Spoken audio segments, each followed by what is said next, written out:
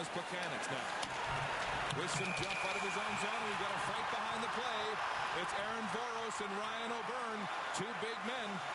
And it's Voros and now O'Byrne throwing some rights. Voros taking a jump on O'Byrne early in this bout. Now he's got the Canadiens' helmet off.